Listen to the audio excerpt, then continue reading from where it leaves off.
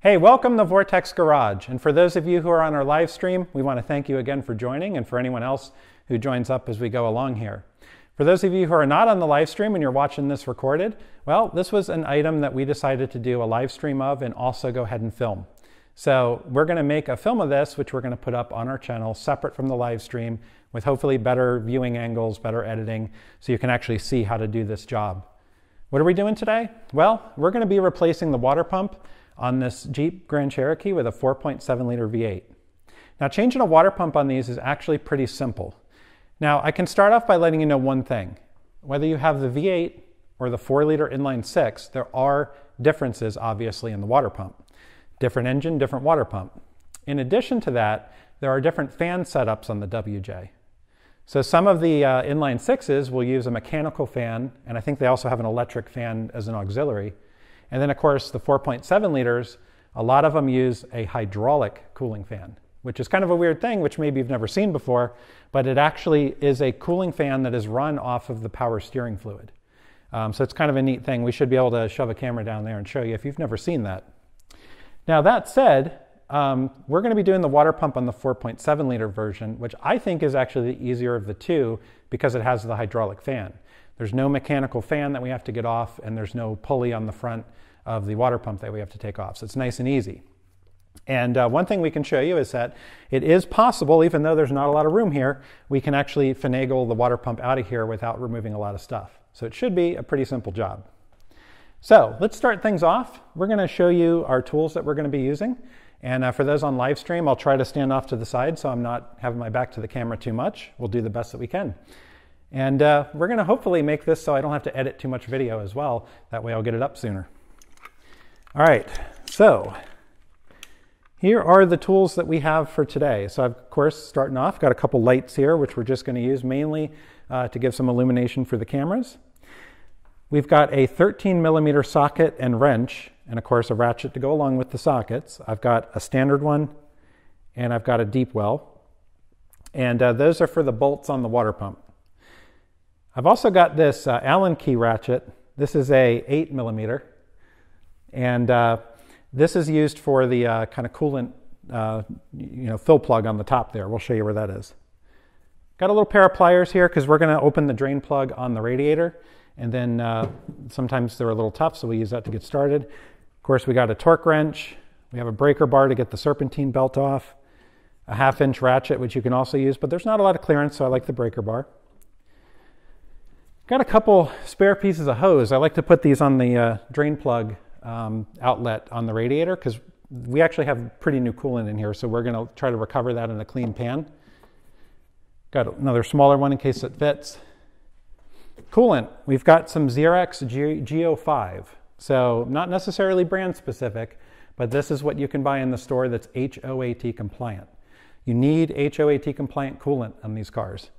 Um, if not, you can have a lot of corrosion difficulties, and people have actually had their aluminum timing covers eaten away uh, by using the wrong coolant, and then you end up with a real mess. So get this, get the G-05, make sure whatever you get, if you go to the dealer and get the Mopar stuff, you want HOAT compliant coolant. All right, then of course we have our new water pump, comes with a new O-ring gasket, and of course we got a pair of gloves if we need them. And well, that's pretty much it. So that's essentially all we're gonna need for this job today. All right, um, so we're gonna get started. Uh, it's been a little while since I've done one of these, so I think the first thing we're gonna wanna do is get the serpentine belt off so we can get to our bolts. So I'll grab this camera here and kind of show you. So our serpentine belt, very simple to remove. And uh, essentially it just sort of wraps around all the pulleys and comes to this tensioner right here. The tensioner has a uh, bolt on it. I think it's a 15 millimeter. We're going to use this breaker bar because the main reason is I was mentioning earlier you can use a ratchet um, and you can use a wrench, but the breaker bar gives you more leverage and it's nice and thin uh, for what you need to get on there. So it is a 15 millimeter, and I'll show you with this camera here. There's uh, some of the hoses for the hydraulic fan. Let me try to position this so we can see. So this is also part of the job, by the way, as we end up moving cameras around just to get the right view. So as you can see, I can slip this on pretty easily with the breaker bar. But anything thicker than that, I'd start to run into this, this uh, hydraulic pipe right here. Okay, so basically to get the tension off, we're going to pull this this way, and that's going to pull the tension off. Once we have that, we're just going to go ahead and slide our belt off, and then we can release the tensioner. Pull out our breaker bar, and then just feed the, uh, the belt out. If you don't want to take the whole belt off, you don't necessarily have to, um, but I'm going to pull it out because I want to inspect it. And uh, I didn't buy one, so I'm hoping I don't need one. This is not that old. But what you want to do to, to check them out, you want to flip it over and kind of hold it like this and look for dry rotting and cracking. And you know what? We've actually got a little bit. It's not too bad. It's just on the edge of the, of the ribs, ribs there. But uh, if it goes much further than that, you're going to want to replace. Same on this side. Flip it over, kind of bend it. Look for tears. Look for fraying. Look for dry rot, things like that. Uh, if you need to, this is the time to replace it. As you can see, though, it's a very simple job to pop these off. If this was all you were doing, it's really a, a two minute job to replace this. All right, we're going to set this one aside. It's good enough to keep using for now. Before we go too much further, we need to drain our coolant because uh, we're actually at the stage where we can start unbolting our water pump. But before we do that, we're going to need to get the coolant out of the system so we don't drain too much of it all over the place. So, first step, I am going to pop off this right here. Let me make sure we can get a, a view of this on this camera. Okay, so we're going to start up top and we're going to open up the uh, plug up here. And this is actually on a 4.7 liter where you fill it with coolant because this is actually the highest spot of the uh, cooling system. So this is an 8 millimeter Allen key bolt. Okay, we're just going to open that up.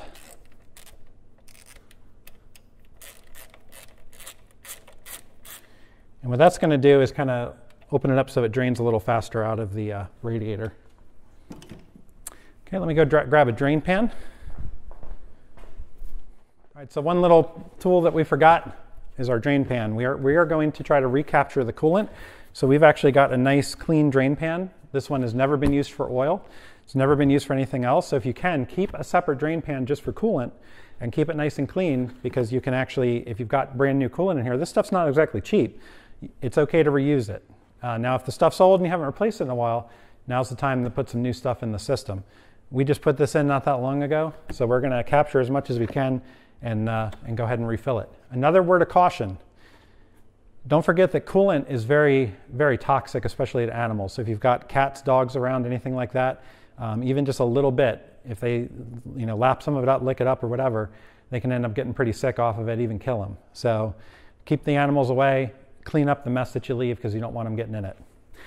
All right, so we'll put this down here.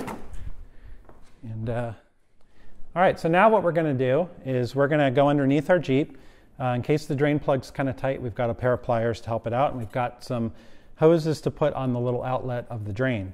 The idea is we're going to open that up. We've got our nice new clean uh, drain pan that's only used for coolant. We're going to try to drain and capture as much as we can. And the reason I use these hoses, I don't want the coolant to pour out and go on the dirty kind of undercarriage where the uh, radiator sits and pick up dirt and debris if I'm going to be putting it back in the motor. So I want to run it through these hoses, depending on which size you need. I got a quarter inch, a 5 16ths, and a 3 8 It's got to be one of them. So let's see what we can do here. Nice thing about a Jeep, you don't have to jack them up. All right, we'll take this camera underneath and try to show you where the plug is. So the plug should be, all right, hopefully you can see that on this camera. You can see that kind of twist off drain plug and right underneath it is the actual outlet. Now the bad thing is the outlet goes about an inch away from where the frame is, the front frame there, so it's a little tight to get a hose on it. But we're gonna give that a try. So we're probably gonna lose the camera view a little bit. We're going to try this one. All right, so you can kind of see we've got the hose up on the outlet there, and then we've got the hose routing to our drain pan, and then we're going to open up that drain by twisting that to the left to open it. And you don't have to remove it. You just got to open it. Okay. If I do this without making a mess, it's going to be awesome. because I never do it without making a mess. No, I'm making a mess.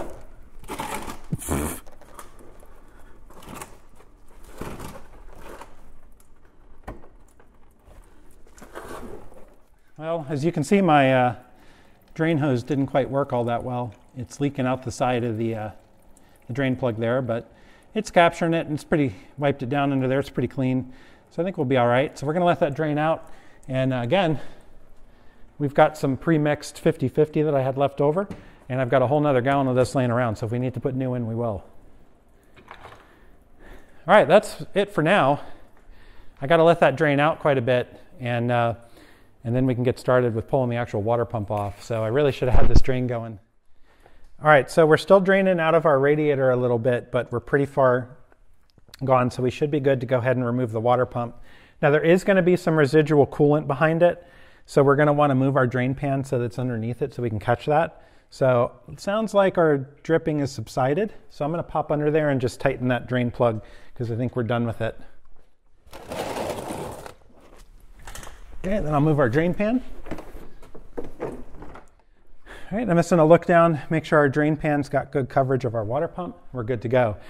All right, now. All right, so I've gone ahead and closed our drain plug underneath. I've done it by hand, even though we use pliers to open it because they kind of get a little tight. Don't use pliers to tighten it. You can just hand tight it, make sure it's snug.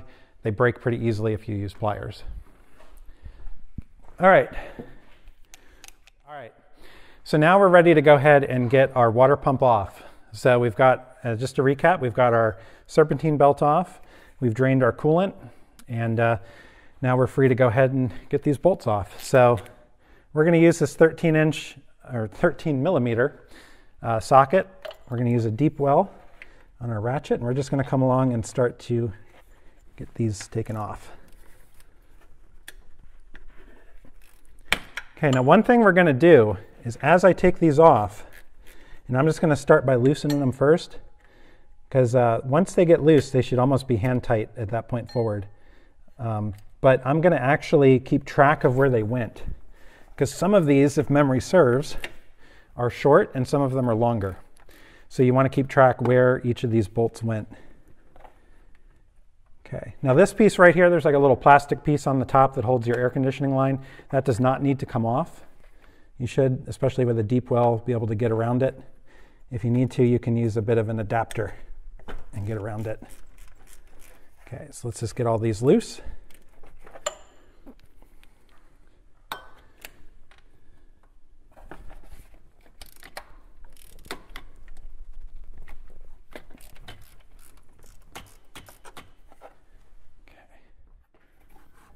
All right, we're just going to come along and get all these loose.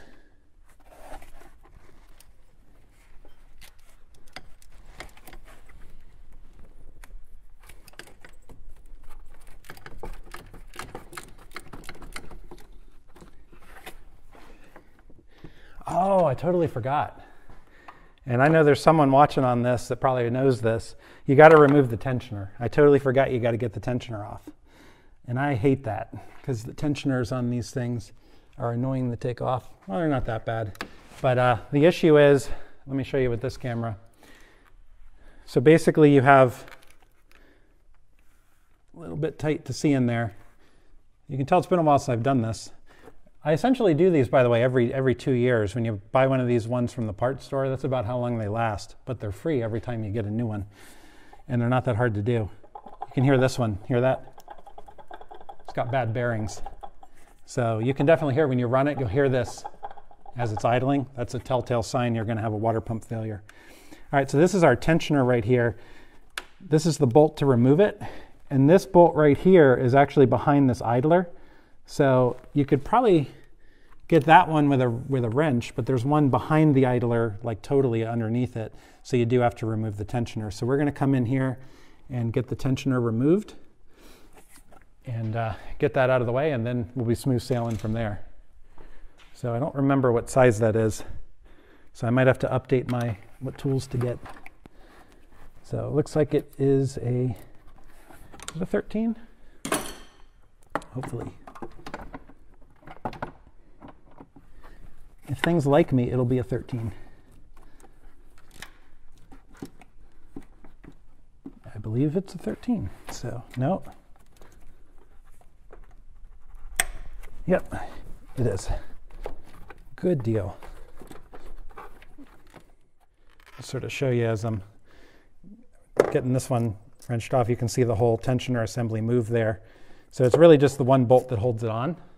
And it's kind of keyed in there too. So it's not a big deal to take this off. Okay. The only problem that you're going to have is what I just did. If you're using a deep well socket or an extension, the uh, hydraulic hoses for the fan get in the way. And uh, then you got to move everything to go. Got to ratchet out. Yeah, so don't back it out too far. Okay, now it should be hand tight. We just don't want to drop the tensioner in our bucket of coolant down there and make a mess. There we go. Okay, and I mentioned it was it was keyed. You can see this right here. There's a corresponding kind of bolt under here that this goes over, so that allows you to put it on exactly you took it off. All right, we'll put this on the workbench, and then we can continue getting our water pump out.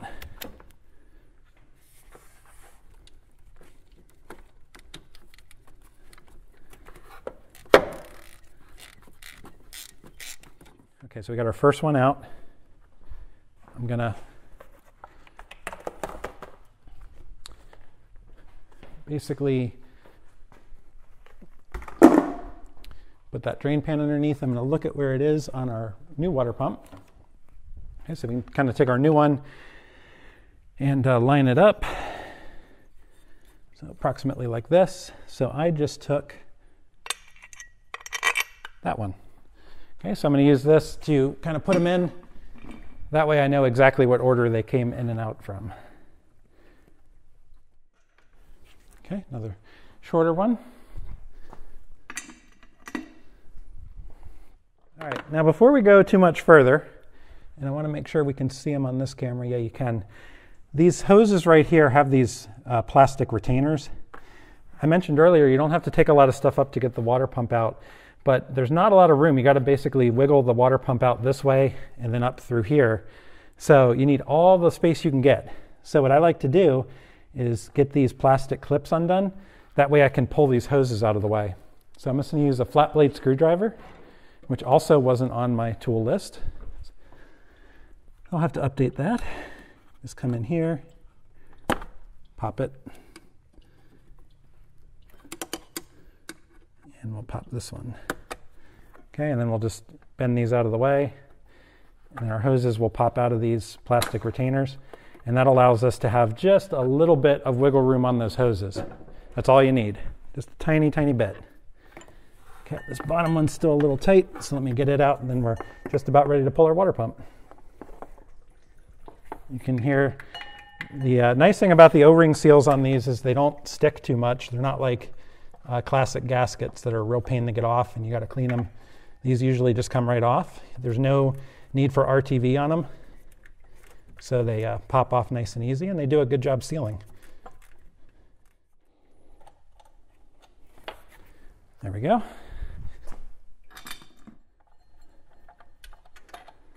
All right, here's one of the longer ones. So this is the side that's kind of up on the top. As you can see, this is about twice the length of the other ones. So that's why you want to keep these in order. Last thing you want to do is try to crank one of those big long ones down in a spot where one of the small ones is supposed to go and end up cracking your timing cover. So this is the same. You also want to abide by the torque specs because all this is uh, aluminum up here. And these timing covers on these 4.7 liter WJs are a pain to replace. It's a lot of labor to get those off. I had to pull it when I did the head gaskets and uh, I swear I felt like most of the job was just getting to the point where you could pull the timing cover off. Okay. There we go. You can hear it draining a little bit. Well, more than a little bit. Okay, I'm going to leave that top one in there just a little bit. And get the last two. So just a trick, you can move the water pump around. If any of these are binding a little bit, it's because there's pressure on the threads. You can sort of move the water pump a little bit and uh, that'll help you get them out. We're getting there. Another long one. Put that one. Okay. Drain all that water out into your pan. Okay, another long one. And our last one. Last one, top one's a short one. All right, now we're going to let the water drain out. Remember, there's still a fair amount of water in the engine block that doesn't come out when you drain the radiator, so it's normal. And looks like we're doing a good job capturing it. All right, so there's our water pump off. We're going to rest it there so we can hopefully see it with the camera. Now what we're going to do is we just need to basically wrestle this water pump to the left on to the passenger side and then up and out. And there's no, I can't ever remember exactly how to do it. Just have to finagle it, all right? Just a little finagling, then you got it. So I'll narrate it as I'm doing it. All right, so I'm keeping it currently how it's oriented. Now I'm turning it, the base of it 90 degrees to that way, the left, I guess. And then I'm taking it down to about where the tensioner goes. And the front, not about, I don't know if you can see with that camera at all. Let me, let me grab that camera. You know, my hands are getting a little dirty. So you can see I twisted the base this way, about 90 degrees, and then the nut of the front, or the bolt for the, where the pulley screws on, because we took these out, I, I have a little bit of leeway. I can move this hose and kind of get it past there. So that's the idea. All right, and then we're gonna, like I said, we're gonna finagle it. So then off to the side this way. To twist this how we need to. We're jammed up on this bottom hose on the left. So I need to get around that. So I'm gonna move it. There we go. All right, now all I got to do is get it by our air conditioning line without breaking anything. Look at that. Here we go. All right, how's that look on that camera? So, okay, so this is our, our water pump, plastic impeller. We got a little bit of goo under here, which is no good.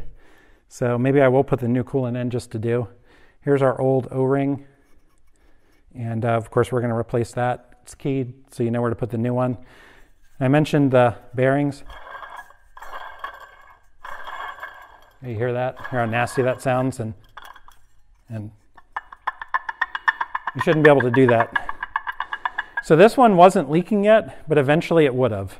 Eventually the bearings would have got so bad, if it didn't fly apart, it would just start seeping out of the, the seals and start leaking on you. So that's kind of how these fail. The bearings go bad or they start to leak or the O-ring gives way. Usually the O-rings, I've never had a problem with them. I've more had a problem. This is probably the second one where I've had that go bad. So we're to go ahead and get our new one put on. So I'm going to take this one just as I had used this to template out where the bolts went. I'm going to get this one lined up just the same and transfer the bolts so when I'm assembling the new one, I make sure they go in the right spot. So this is actually the top. And I know that because that's the last one that I took out Put these here. Put that like that. And that's a good trick to make sure that you always put the right bolt in the right spot. Show it on camera here. And you see on this one, nice tight bearings, doesn't make any noise. Rotates nice and smooth, nice and quiet. So this is a Duralast brand. It's a new one, and uh, still, you know, like I said, I, I, seem to get about two years out of them and then the bearings fail. Um, I don't know if they'll ever design them a little better. Maybe you can go get a Mopar one and, and have better luck with it, but even the OEM ones I know have difficulty. So, all right, we're going to go ahead and put the O-ring in.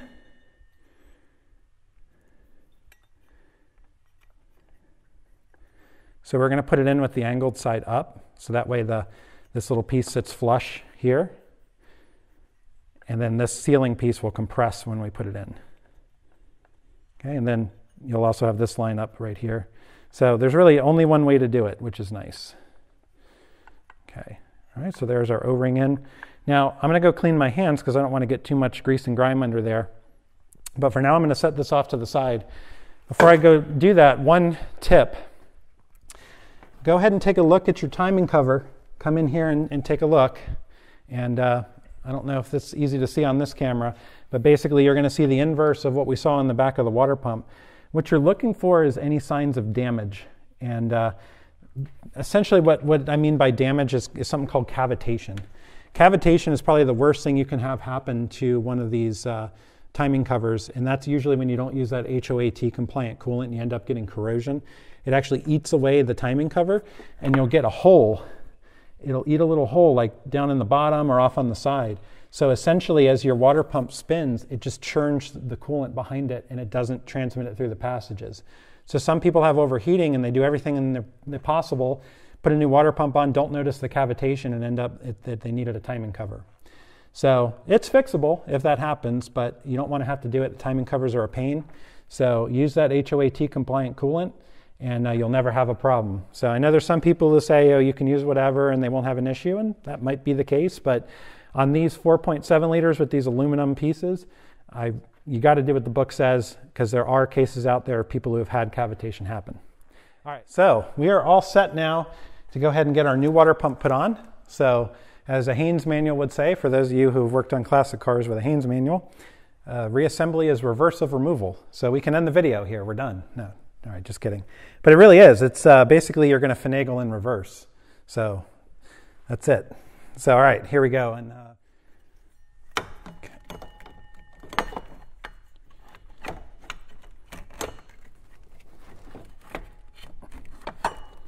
there we go.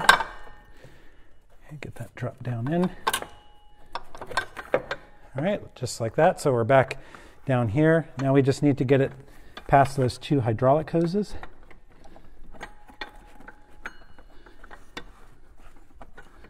Okay, I got it past the one. Push the other one, got it past the second, so we're home free. Okay, and all the while you do want to be careful that you don't damage that O-ring. So although it looks like we're wrestling this thing in here, we're doing our best to not push it too hard and uh, wrestle it in.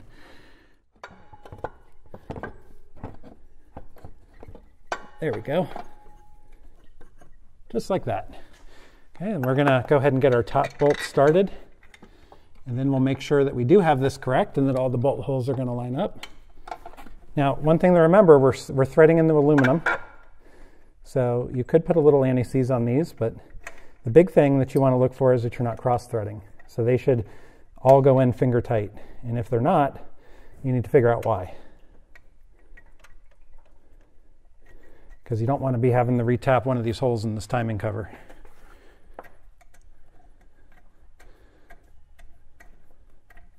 Okay, that one started. Got our first long one, which goes right here. And this will help get our water pump aligned once we get it started. Sorry that I'm kind of in the way, but it's a little bit necessary long one. I'm just going to go around. Now when we tighten these, we're going to tighten them in a crisscross pattern so that we put um, the torque values spread evenly across the piece. If we were to just torque them like this, you're basically putting all the clamping pressure on one side and you risk warping it. And then you'll have a lot of leaking problems. They'll literally hand tight all the way to where they start to bottom the water pump out. That's how easy these go in. So if they're not going in that easy, then like I said, check it out. Make sure that you're not cross-threading. All right, these are all hand tight.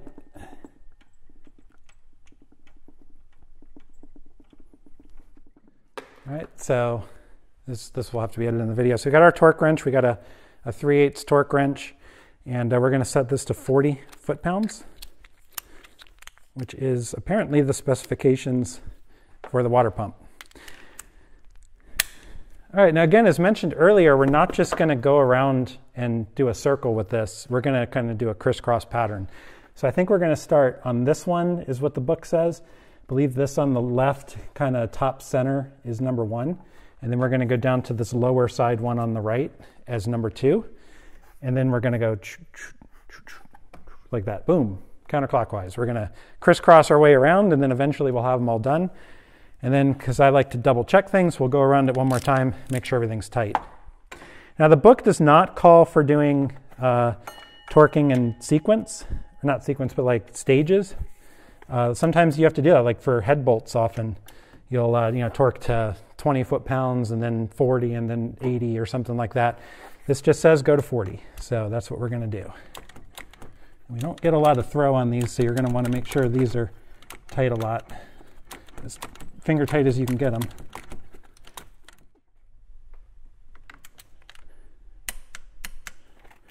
Okay, that's one. Let's go down and do this one.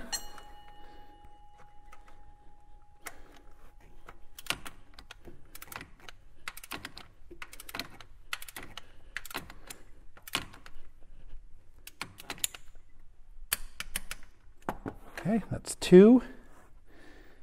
Then we're going to go do this lower one.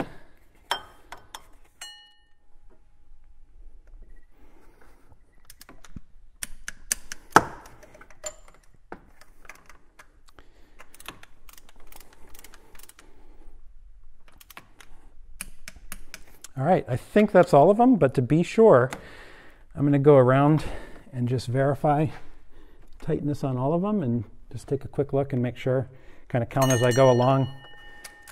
Count as I go, make sure I got them all. All right, that's it. They're all torqued on, so we're good to go. All right, now we can uh, get our tensioner back on. All right, so we're ready to go ahead and put our tensioner on. Remember, we've got this nice keyed area, so that makes it easy. We'll reverse finagle this under here. Got our bolt in there so we don't lose it.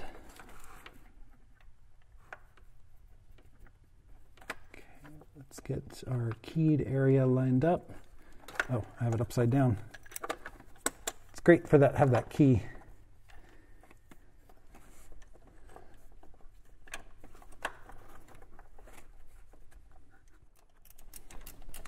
So I actually just walked over and took a look in the book.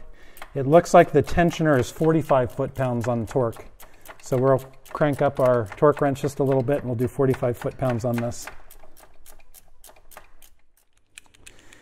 All right, got our torque wrench. Oh yeah, we got to set this to 45 foot-pounds. So, and uh, they are going to keep me away from the keyboard so I don't mess with anyone's chat messages anymore. And uh, looks like we're going to have a little bit of difficulty getting the torque wrench situated on there. We're going to need a little bit of an extension. Again, it's a slight tight fit. So I guess I should feel good that so far I haven't broken anything. And I should probably watch my mouth. All right, there we go. So that is torque to spec. And I can wrestle the torque wrench off. So again, that's the pains of doing these jobs sometimes. You got to find the right setup to give yourself the clearance to get a tool like this torque wrench on. But we got lucky, we were able to get it on. All right. All right. So just to recap where we are for the video that we're going to edit, um, we've got our water pump on. We've got everything torqued down the right sequence, and it's torqued to 40 foot-pounds. We've got our tensioner reinstalled, and we've got that torqued to 45 foot-pounds. So at this stage, we're ready to go ahead and get our serpentine belt put back on, and then we can recover our coolant and go ahead and refill the system and check for leaks.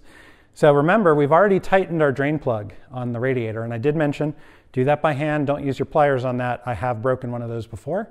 So learn from my mistakes. Don't use pliers on that. Just hand tight, snug it up, let the O-ring do its job. All right, um, what I will do is our hydraulic hoses, we don't really need these out of the way anymore. So I'm just gonna push these retainers back in, make sure they're in the right spot. And uh, that one's not wanting to go back in just yet. There it goes. All right, so that way we've got everything put back the way it belongs. So let's go ahead and route our serpentine belt. So if you've never routed one of these too often, there's, uh, well, two things you can do. First of all, you're going to have a belt routing sticker, most likely on your, on your car. It's going to tell you exactly how to route it. If for some reason this is missing or the car doesn't have it, you can usually figure it out. Well, first of all, you can go online and, and find images of it.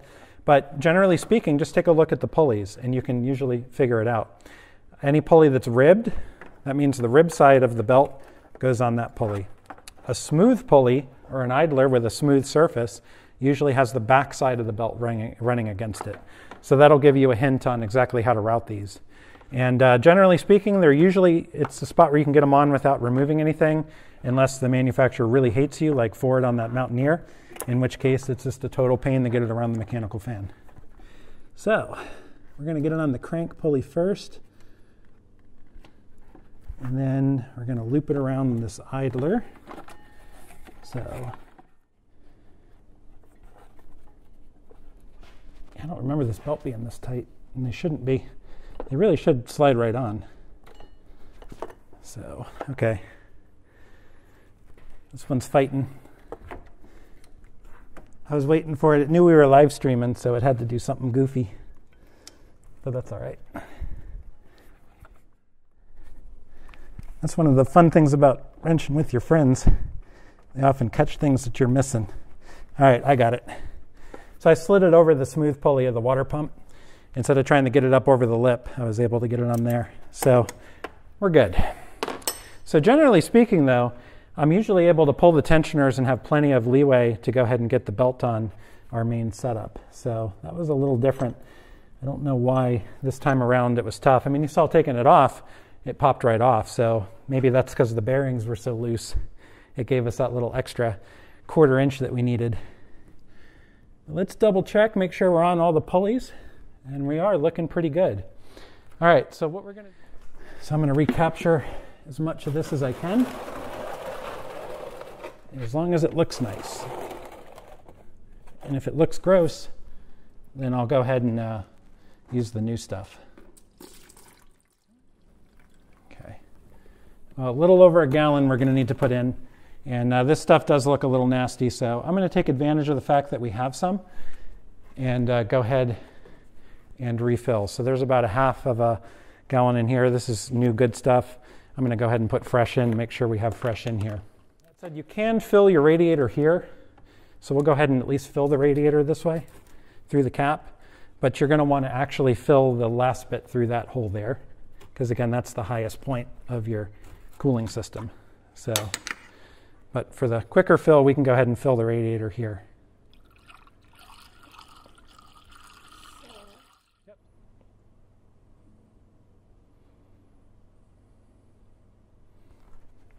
Okay, so I do need to mix a little more.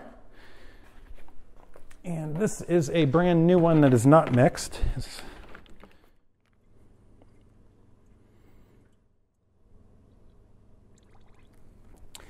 And there we go. It's pretty much filled up. So what I'm going to do though is let some of the air bubbles work out as it comes up here. And you'll see them kind of bubble up from time to time.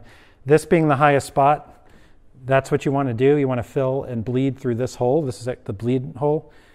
You can put the cap back on here. You'll see that because I filled here in the highest spot, it actually filled the radiator up to the right level. Um, so it kind of all works itself out. If you were to try to fill the radiator up all the way, what you'll eventually do is, yeah, you'll kind of level it off here and get it as far as you can, but you got to watch it because eventually you're going to get to this hose here, which is the overflow to your overflow tank, and you're going to just start filling that up more so than actually filling the system here. So we're looking pretty good. And uh, I'm going to put this on. So I feel like we put in a little more than we took out. And uh, I would imagine that our old water pump had was seeping coolant um, while the bearings were bad. It, you could definitely tell a little on it. There was some uh, wetness, signs of wetness. I would imagine we were losing a little bit of coolant as we were driving, not enough to pool under the vehicle. A lot of times that's what you see when things are under pressure. That's when they're leaking. That's what people really have trouble grasping. They go, "Hey, I, I got home and you know, go out. There's no puddle under my car, but my coolant's low. Where's it going?" Well, there's two places it's going. Number one, you got a head gasket problem and you're bleeding coolant and burning it. Uh, but number two, a more common one, is you've got a very slow leak that is worse when things heat up and expand. So when you're driving, you're actually losing a little bit and it's just blowing away as you're driving. You go park the car and it seals up as it cools off and you never see a puddle. So that's a good sign, which you can look for. And sometimes you see them under here. There's little white spots. You'll see them on various things. That's dried coolant. You can kind of tell a lot of times if you've had coolant around in here. We've had it in the past. One of the other water pumps that we did was bad enough it was leaking.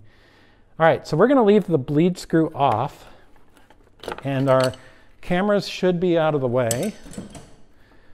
and we have no leaks. Everything is, is in and tight. So I'm going to go ahead and start the vehicle and I'm going to leave this bleed hole open because I want to bleed the system. So what I'm going to allow that to do is spin the water a little bit, push some of the air bubbles out through. I still got my drain pan under there because we're going to have a little bit of drips and drops and stuff like that. I've still got coolant in here and I've got another gallon if we need it. So we're good. So now all I got to do is find my key. Here it is.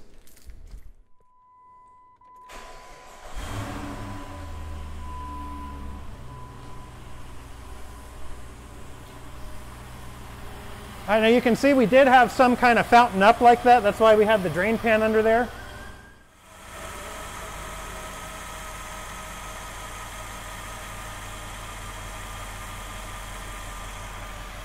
Right, so we're going to top that off.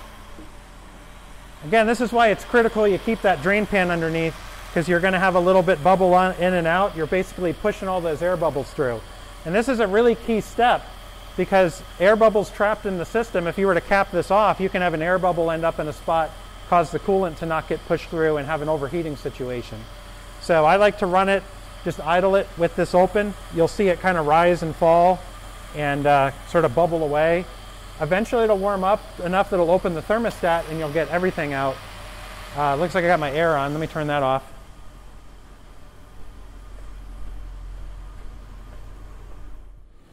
So again, you want to be careful of all the running stuff, but you can see here a little bit of bubbles here and there. It's, it is flowing over, so I've got my drain pan to catch it. You can feel some heat coming into the coolant here, which is good.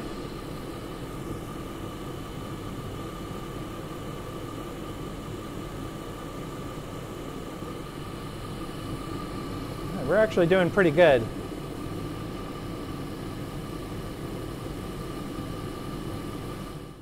Now coolant expands as it heats up, as the water does. So that's why you want to occasionally replace your, your radiator cap because that actually helps pressurize the system. They, uh, a pressurized system actually raises the boiling point and it's more efficient. So that's why everything's sealed and capped off. And that's one reason why our coolant starts expanding and overflowing as we got it heated up. But this is also driving out those air bubbles. So Still seeing a couple air bubbles here or there, but they're dying down, so I think we're at a stage where we can cap it off and we'll let it run for a while and test it. Worst case scenario, after it cools off, we'll just crack it open again and we'll run it and we'll make sure all the air bubbles are out. The air will naturally want to gravitate up to the top. The big key is you just want to get it from not being stuck underneath in the system somewhere. And since we did this on a cold motor, all the air bubbles should be on the cold side from where the thermostat is. So if that opens, it'll be great, but if not, I think we're going to be excellent on our system here. We can go ahead and thread this piece back in.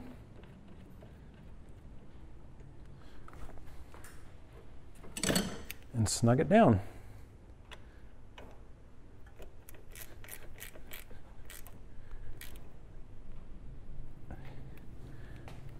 All right. All right, so that's it for our job. We've got everything wrapped up. Just to recap, we've gone ahead and refilled the coolant. We put everything in through the bleeder, uh, bleeder fill. We uh, ran the system, let it idle, and got all the air bubbles out. We'll, of course, test it, drive it around. We'll keep an eye on our uh, uh coolant gauge, make sure everything's running good, but we should be good here. Everything's torqued down. Our serpentine belt's back on, tensioner's back on, our hydraulic hoses are on. And like we said, we didn't have to take off a lot of stuff to get this water pump out, so it's not that tough of a job. And uh, hopefully you saw that. And uh, I really hope that as we did the live stream here, we were still able to kind of run the cameras in an efficient way, give you some good views. So hopefully when I do the editing, this turns out pretty good and you all are able to see how to do it. Of course, if you have any questions, hit us up in the comments. We try to monitor those and answer questions as we can.